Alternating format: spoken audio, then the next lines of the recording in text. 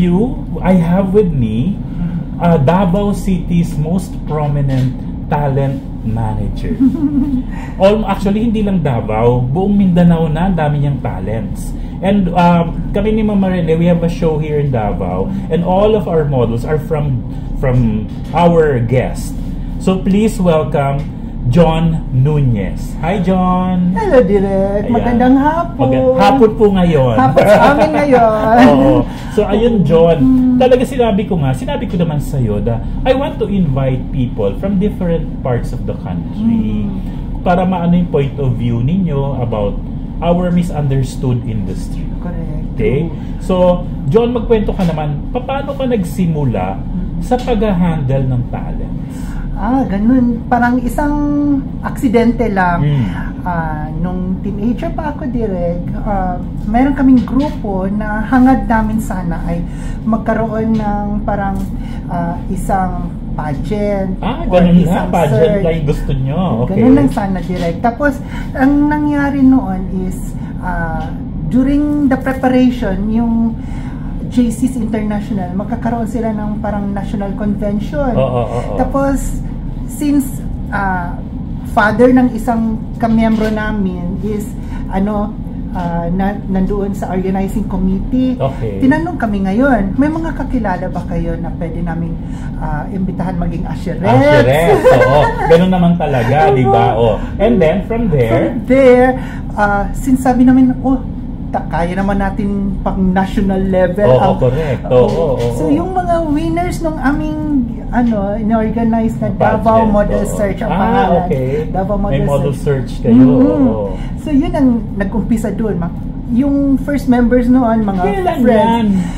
1991 to be exact. Ah, okay. Mm. Kaya inabot si Pinky Barcelona, who is now in in Italy, talagang inaano talaga, ikaw talagang mini-mention Mm. niya, John, no? College kami noon, mga panahon na yun. Okay. Tapos, So, estudyante pa lang, mahilig ka na. Mm-hmm. Nagkataon noon, ako yung pinaka-youngest sa members nung aming grupo Oo. na at that time tinatawag namin Creative Profile Incorporated. Yun yung nakatatak sa Creative Profile oh, CPI. Hanggang So, sa inano nyo yan? Niregister nyo? na-register Okay. and lahat-lahat. Ang nangyari noon kasi ah, yung mga former members dalawa doon nag-migrate na ng Amerika. Okay. Isa doktor, naging doktor.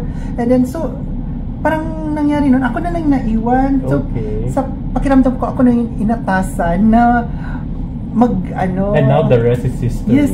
Yes, direct. John Nunez of Glam Models Davao. Yun po yung pangalan ng kanyang modeling group dito, Mm. Glam Models in Glam Davao. Models. And they're the most popular, the most professional model group here.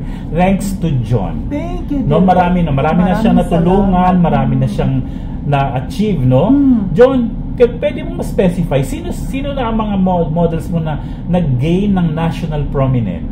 Ah, so bukod kay Pinky Barcelona Ah, Pinky, yeah. na nanalo ng body shot sa Maynila, Yes, oo. kinatawan ng Davao.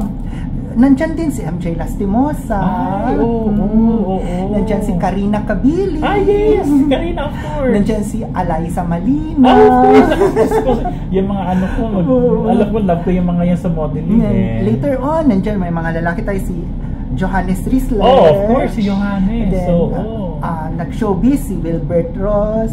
Oo, oh, of Mm, course, doon yes, I know. oo. Tapos, nandun din sila Kevin Sagra ng Oh, alam, GMA. kita nyo na, oh, Mm. ang dami na pong dumaan kay John. Maybe because he started young in 1991. But, it's more on that. It's just not the number of years. Yung pag-aalaga mo, Mm. yung discipline na binigay mo sa mga bata. That's why they're good. They're successful in their careers, no? Although sila Karina, masaya na yung buhay nila pamilya sa Mm. abroad. Mm. Ah, pero at least, di ba, they, they, they came to prominence True. because of your help. Thank you, Dave. No, because of that. And maganda ang record mo, Mm. John eh. 'Di ba? Imagine talagang yan, yung latest mo si Johannes Whistler Mm. na nag-show showbiz na ngayon, 'di ba? 'Di ba?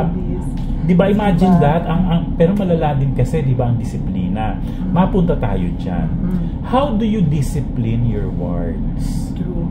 So, siguro alam naman ng lahat, hindi ito sikreto na pag sinabing modelo, medyo nalalapit sa pagiging prostitute. Yes, oo, medyo. Ah. alam niyo na, y- kaya nga, Yes. kaya nga nag, nag-interview ako ng mga ano Yes. kasi mala, mal- malala yung Mm. tingin sa atin, di ba? Yes.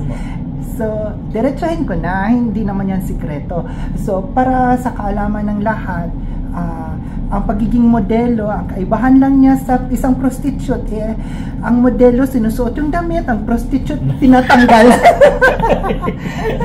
so, parang it's a very Oo, thin line no? dividing between the two. So, nung inaamin ko, nung kabataan ko, maraming lumalapit sa akin. Oo, mga, ganyan, oo. oo. Ah, akala nila kasi kaidaran ko lang yun. Ang iba nga modelo, mas matanda pa sa akin Oo, that time. oo, oo. So ako nilalapitan nila. Eh, maganda naman yung pagpalaki sa akin ng Oo, aking mga correct. magulang. Oo, So, oo, oo. ah, morality standards, hindi nila ako ma O, so, doon ganun mo hinahandle yung mga yes, ganyang kahit bagay. yung mga prominent dito sa atin, Oo, businessmen, oo. sinasabi pa sa akin, oh, here's a blank check. Isulat mo lang kung magkano. may ganon. Po. So, sinasabi ko sa kanila, Tito, sorry po, eh, kaklase ko po yung anak ninyo. Kamusta na ko pala si... Ah, gin- oo, oo, tama. Oo, Parang way. saywar. That's the way. Yes. Oo, para, oo. Opo. Or else sabihin Tapos ko... kaklase mo pa yung anak, di ba Yes mahihiya, po. di ba? Mm-mm. Or else sabihin ko, ah, parang kaibigan nyo yata ang tatay nitong si modelo. Ah, Huwag na lang okay. po siguro number ng modelo. Kung ibigay ko na lang po yung number ng tatay, baka gusto nyo Oh, kausapin. ayan po ha. Ayan, na-experience ni John yun. So, totoong nangyayari po yung mga ganyang It's- bagay. yes, it's real. Imagine, paano mo finifend off yung mga ganun. Mahirap din eh, di ba? Lalo na respetable mga tao. Yes. Di ba? Mahirap din isipin mong ganun. Now, ang tanong ko, John, Yes, yes. syempre, it's not always a bed of roses. No? Meron kang mga talents na medyo ano, you know, wa- minsan parang walang utang na loob. Marami. Paano mo sila inaano? Ah. paano mo finifend off sila or Mm. paano mo hinahandle yung ganong situation? Ang sa akin direct, kasi kapag ka nagluwas na ng Manila yung Oo. isang talent, Oo. handa na ako na wala na ako sa in the Sa picture, eksena, wala na ako sa eksena. And then tinatanggap ko naman din na hanggang doon na lang yung role ko sa buhay nila. Oo. Pasalamat na lang ako na mm, na form, na mold ko Pero sila. John, I'm sure sir. meron pa din namang iba dyan na bumabalik pa rin sa'yo. Ay, si, si John Nunez ang alam ko yan. Kasi kilala ko yung iba. Mm. Like si Bambi, Oh, yes, si Abdulsani, Bambi. di ba? Tapos sinasabi niya palagi yan, si John Nunez. Opo. Kaya kahit hindi pa tayo nag-meet, alam ko na kasi sinasabi yan ni Bambi. Yan mga taga Davao na models. Mm. Tapos si ano, si ah yan nga si Pinky sa Barcelona. Talaga si Pinky talaga ay ang dami talagang sinabi maganda sa iyo. when when I saw her in uh, in in Mil- in Venice, Mm. talagang wala siya ibang masabi kundi pasasalamat lang sa iyo. Mm, nice. Sa mga naitulong mo, John. Sabi ko, ay oo, si John pa naman, very soft-spoken Mm-hmm. lang yan. Tsaka siya yung pinaka-active na ha- handler dito sa Mindanao, di ba? And you have a group, yun nga yung glam po. Anyway, bukod naman doon, syempre naman, may mga, syempre, bukod doon sa mga walang utang na loob, meron din naman mga bumabalik. Marami so, din naman. Oh, meron naman hindi bumabalik. Yung syempre, i-acknowledge ka pa rin, Mm, John. opo. Hindi naman pa pwedeng mawala yon. So, paano, how do you feel personally? How do you feel na, ay, si John po ang nag-ano sa akin, Mm. si John po yung nag How do you feel? Mm, masyadong napakasarap sa kalooban na hanggang ngayon, maraming taon na lumipas, eh, naaalala pa rin ako ng mga na-discover ko. Oo, oo, oo. Pero hindi natin maipagkaila na marami rin naman na making good, hindi lang man makapag-say hi, ah, lalo na nung pandemya, Oo, oo, oo. na alam natin kahit papano, hindi man lang kumustahin kung ah, ano yung... okay, kung kumusta ka. Oo. Wala lang, parang walang nangyari. Hayaan mo na. Anyway, Mm. there's always God who watches everything, di ba? So John, ah, sa ngayon, sa crop of models mo, dami quality siya eh, quality yung models ni John. sa tingin mo, doon sa mga hina hinahawakan mo ngayon, sa tingin mo, ikaw ha, kutob Yes. bilang ano, bilang manager, handler, sa tingin mo, sino, marami, ilang percent dyan ang sa tingin mo will gain national prominence? Ah, kung gustuhin lang ng nila, Ay, talagang talagang magkakaroon sila ng ano, big chance sa Oo, Manila. sa Manila, Kasi oo. sa atin po, ah, bago ko po sila ah, tinatanggap sa ating grupo, Mm-mm. make sure ko muna na pang Manila levels Correct, oo. Para hindi naman masayang yung ating effort, Effort, oo. sa lahat ng trainings, at saka para hindi tayo mapahiya, baka sabihin na lang ng yung iba nating mga kaibigan sa Manila, yan lang pala ang meron Sa sa, Davao, Davao. oo, oo. So parang ang aking ah, aking opinion is nire-represent natin yung Davao and Oo, Mindanao. oo, yes. So the best of what Davao can offer. Oo. So bukod sa tsura, the looks, eh, pwede naman yun na-change Oh, naman yun correct. ng make-up. Oo, lalo na ngayon. Lalo na ngayon. Tapos hindi na rin masyadong importante ang skin color. So kahit morena, kahit ubod ng puti or chinita, Oo. pasok. Correct. So yung body measurements, yan ang importante sa course, akin kasi yes. lalo na Oo. sa mga Manila designers. Oo, they, oo. they wanted yung Kasi standard. nag-show din naman ng Manila designers Oo. dito, di ba? Mm. So kailangan meron ka i-present sa kanila na Yes. tama, di ba? Tapos so, sa females, 5'8", Ah. barefoot, and above. Mm. The taller, the better. And then waistline not more than 25 inches. Yes, correct. Uh, Oo, dapat. and then the boys naman kung maaari 5'10 kung pa talagang itsura itsura. Pero Oo, kung gwapo dapat, gwapo. oo.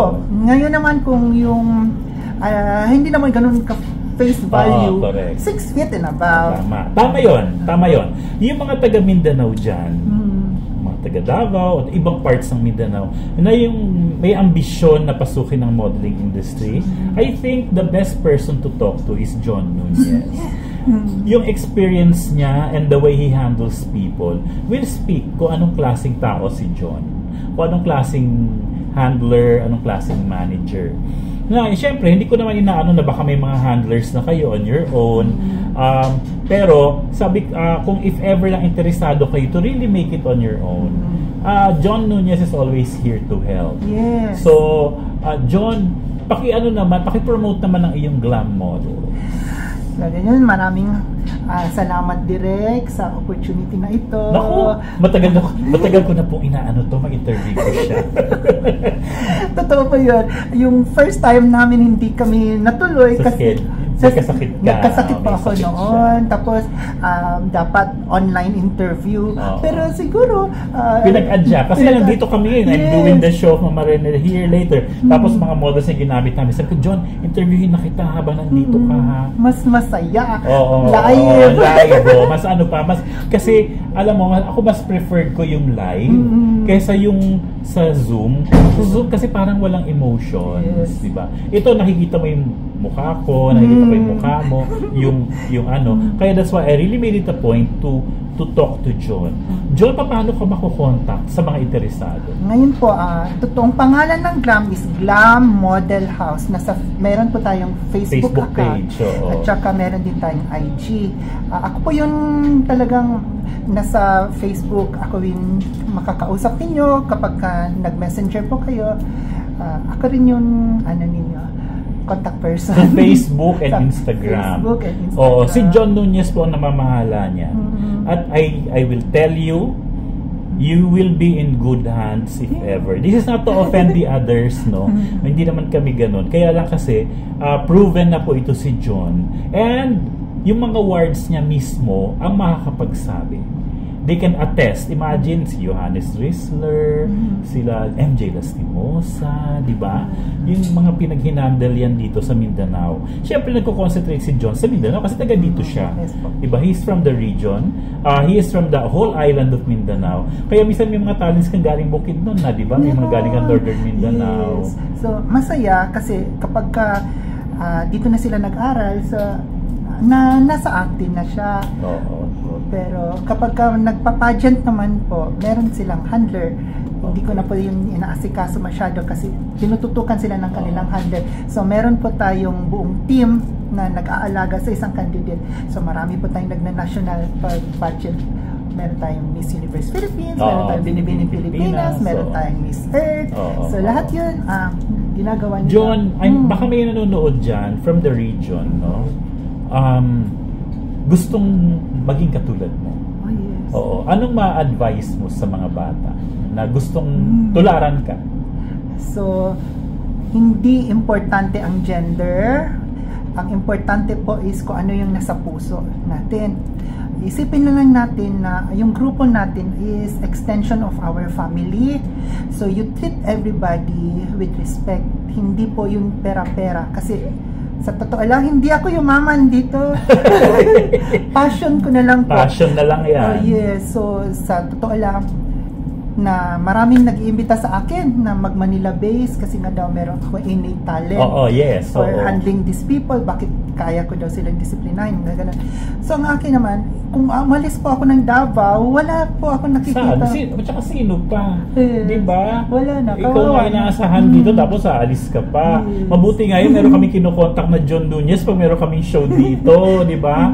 Isang tawagan lang. I mean, he can easily be called and talk to regarding matters sa mga model requirements. Yes. So, John, maraming salamat Maraming for taking salamat. time taking time. He's busy kasi lahat po ng modelo sa show na to eh mga handle niya. So talagang inaasikaso niyo niya po. Very hands-on po siya in handling the models. Nandiyan dyan po yan. Mm. Hindi po siya yung tipong loud na laging nakaganyan. But nandun ang presence niya to take care of his talents. Yes. No, kasi ga- obligasyon yun eh, di ba? Obligasyon. Ah, ako yung bale first line of defense Correct. kumbaga. Oo, first line of defense. Dapat kung ano yung call time, dapat 30 minutes ahead Yan. of call time that's, kami. That's that's what I mean. Yes. Na- Naiintindihan yun yung sinasabi ko Mm. kasi importante talaga yon John, di ba? So, Importante. dapat nandun ako para pag hinanap yung models, ako po yung sasagot. Dapat alam ko kung nasaan Parang sila. kahapon, John, di ba? John, Oo. nasa may ibang modelo kasi Yes. nagkaroon ng miscommunication regarding call time. Yes. Oo. So, na-late yung iba kasi hindi naman kasalanan ng mga bata tsaka hindi, hindi niya rin kasalanan, di ba? alam. So, pero ano kaagad siya? Talagang tinawagan niya lahat, pinarating niya kaagad. Na-late pa yung iba pero pinarating niya talaga. you know, without being too bossy about it. Pero dumating naman yung mga bata. di ba? Na-solve. Na-solve naman, oo. Yes. Ngayon ay nagme-makeup po ngayon sa baba. Ayan, Mm. may show na kami mamaya, di ba, Yeah. John? Exciting. yes, so nga. It's nice to see you again here, John. And I hope in our future shows here in Davao, nandyan ka pa rin, ha? Yes, to help us yes, out, promise. John. Oo. Mm. You know, this person is very soft-spoken, very approachable, easy to talk to. That's why we love John kasi hindi siya mahirap kausap.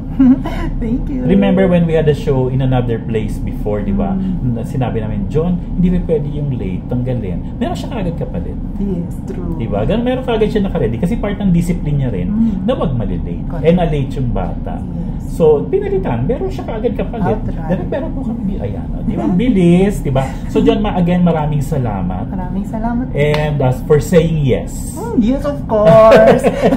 for saying yes and for this interview. Maraming salamat sa opportunity, Direk. Dati, pa, papanood ko lang kayo sa, sa ano. Ngayon, ako na pala nandito. ini-interview. Thank Say bye-bye to everyone. Bye, Maraming everyone. salamat and bye-bye. I'll see you soon. Thank you.